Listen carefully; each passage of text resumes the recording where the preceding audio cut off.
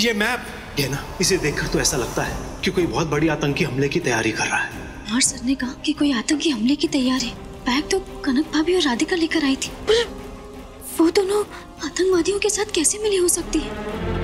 अनंत जी आप मैं आपको कब से फ़ोन कर रही हूँ और आपने मेरे फ़ोन का जवाब क्यों नहीं दिया? कहना मैं थोड़ा बिज़ी था। अनंत जी आपको पता है कुमार सर कृष्णा के बारे में क्या कुछ बोल रहे थे पर मुझे यकीन नहीं होता।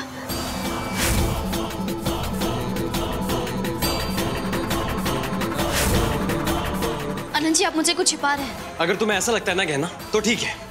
पर अगर तुमसे कुछ छुपा रहा हो ना तो उसके पीछे भी कोई वजह होगी। कृष्णा की बातें बताऊँगा तो तुम मानोगी नहीं। और मुझे अभी बतानी भी नहीं है। जब मैं खुद पूरी तरह से शोर हो जाऊँगा तभी होगी इस बात पे बात।